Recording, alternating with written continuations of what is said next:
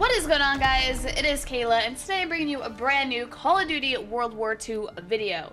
So as you can see, uh, well, my webcam is not working. I got home from vacation, started up a recording, and well, here we are in a pickle because it does not work. So after this video, I'm to get a new webcam so we don't have this issue in further videos. But for right now, we have no webcam. But that's fine, guys. That is okay. So before I start this video, this title is completely a joke. If the game isn't a beta, I know someone will get butthurt in the comments, but uh, yeah, this game is not a beta, but I just felt like being funny and having something to do with COD World War II beta in my title because, I don't know, I laughed. I think it's funny, so. And when I was on vacation, I saw that there is a huge update coming to World War II. Absolutely insane game changing. It's gonna change the game. Like there's there's nothing else to say about it than it's gonna change the game because it really will be. They're adding so much, removing a lot, nerfing stuff, buffing stuff. It's just not going to be the same game. I'm pretty excited about it overall. I want to know your opinions down below. I'm going to leave the patch notes itself in the description in case someone wants to see it because there is so much in this patch that I cannot talk about everything. I'm only going to talk about the basic stuff that I see and the things that like I want to point out. The first thing I'm going to talk about is what they're adding overall to the game is they're adding three primary attachments for all the loadouts. Every single gun you're going to have three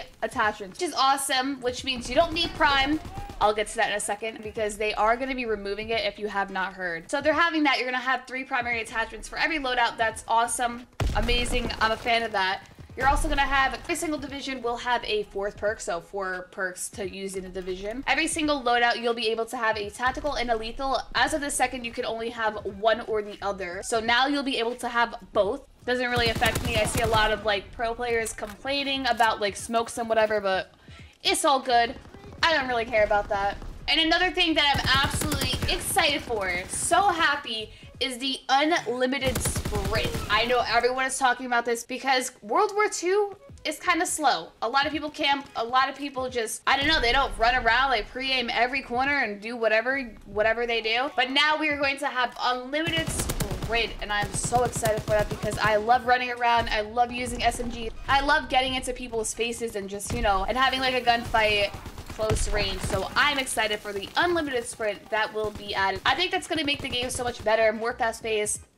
Overall, just a better game. Now, the main point of this video is the basic trainings that are going to be added and going to be removed to this game. So the first basic training that they are going to be removing is primed. So primed is my favorite basic training as the second which basically you get another attachment to your gun and also you will flinch less when being shot at. So they're removing this basic training, but they are adding this overall. Like you're gonna have your third attachment no matter what. So you're losing it but gaining it in some other sense because you're gonna have it overall in the new update. You're actually gonna gain something because you will be using another basic training instead of using prime. So it's kind of better actually overall. And then next basic training that they are removing is bang.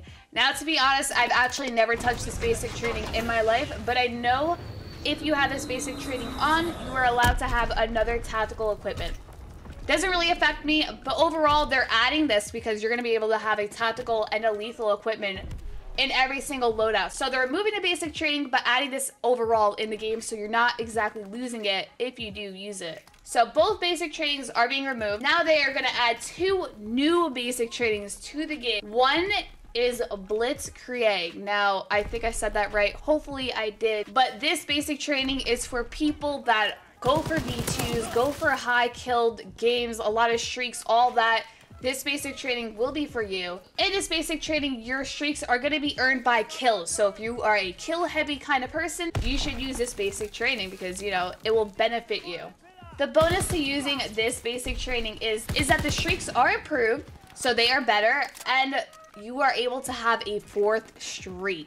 Now that is game changing, absolutely insane having four streaks. So if you're just about that kill life and just kill everyone and you're a beast, then uh, you can get four streaks. That is amazing. There hasn't been any other COD where you are allowed four streaks that I believe. I'm pretty sure there isn't. That's definitely a difference to Call of Duty in general, so that's awesome. And the last thing I'm going to be talking about is the new basic training called Clandestine. I don't know if I said that right. I'm hoping I didn't butcher it, but I probably did, to be honest. So this basic training kind of reminds me of a sit rep type of thing. The description of this basic training is slain enemies drop intel packs that reveal nearby hostiles. So basically, they're to drop a pack. If you pick the pack up, a ping will appear on your screen, you know, on your radar, and it will show you where the enemies are located that are by you. I feel like a lot of people could use that if they're, you know, campy type of person just to see where the enemies are, or you could be a rusher and, you know, you're just trying to get more kills. You just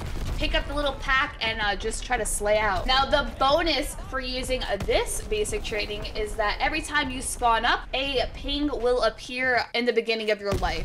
So you're to be able to see where the enemies are just in the beginning when you spawn up. Now, that's pretty cool. Very different. I've never seen anything like that.